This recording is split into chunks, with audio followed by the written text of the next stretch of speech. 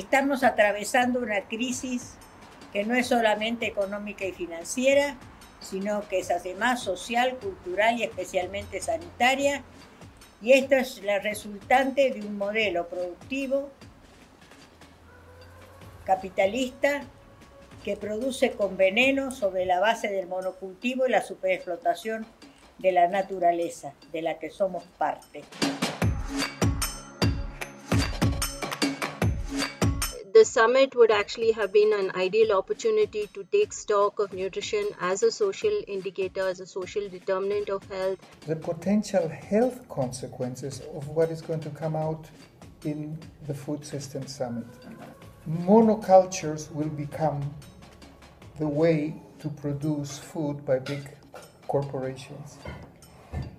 Monoculture requires more land. So it's not only my guess, but it's going to lead to land grabbing, making displacements of peasants, and of course, increasing their poverty, and that affects their health and nutrition.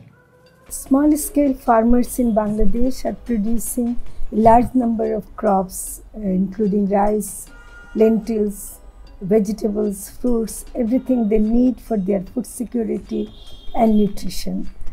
However, due to the imposition of modern agriculture with uh, chemical pesticides and fertilizers, nutritional qualities of food has been lost. Uh, they are actually not trying to help the farmers to produce nutritious food, which they can easily do, but they are actually trying to industrialize uh, nutrition and industrialize the food production. It's not only the world's food system, it's, as you very well know, behind it the World, World Economic Forum that has been pushing industry to get more and more involved in this spurious process of the Food System Summit.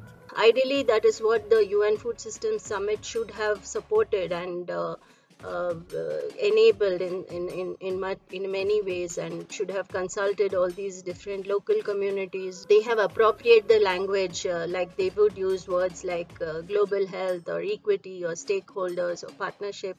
Uh, but that's just a front and uh, if you actually scratch the surface you'll realize what a huge corporate agenda is there the next things that worries me which is the poor people consuming more and more ultra processed foods, and which we call junk foods. This, of course, is very well studied in terms of how the consumption of these products lead to non-communicable diseases, hypertension, obesity, diabetes.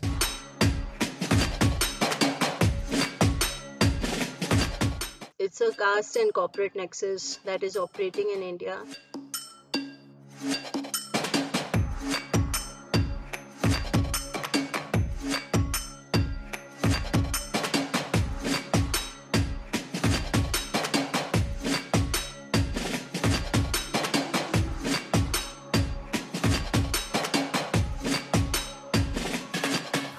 The Eat Lancet Commission, which was uh, funded again by corporates, um, brought together a report which they say they worked over two years and it has 37 commissioners from different countries. Food Safety Standards Authority of India actually uh, facilitated the release of this report in 2019. Um, India shows the way forward for a plant-based diet, um, for a vegetarian diet. And first of all, India is not vegetarian. Clearly, in India, there's already a caste structure in place which is pushing for a very plant-based in the sense of a cereal heavy or a millet heavy diet. Uh, we can see that across the different social sector schemes related to food. There is um, a culture of denying eggs to children in schools and midday meals for the most unscientific of reasons, which clearly comes with a caste uh, prerogative. The UN Food System Summit, uh, with their plant based agenda, is actually buying into a very uh, a politically charged and uh, socially concerning situation that is already happening in India.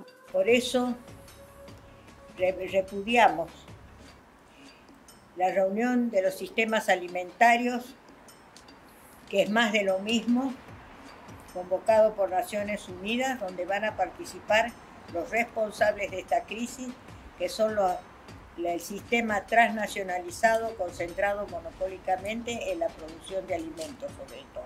This is not what we need for solving our malnutrition programs. En defensa de la vida, en defensa de la salud, tenemos que convocar a una contracumbre, como lo hace Salud de los Pueblos, donde afirmemos que la alternativa es la producción familiar y campesina y los principios de la soberanía alimentaria para conseguir alimentos para todos. and uh, we should reclaim our diversity our local food cultures and our traditions. And that is um, coincidentally also environmentally more sustainable and eco- ecologically more sound.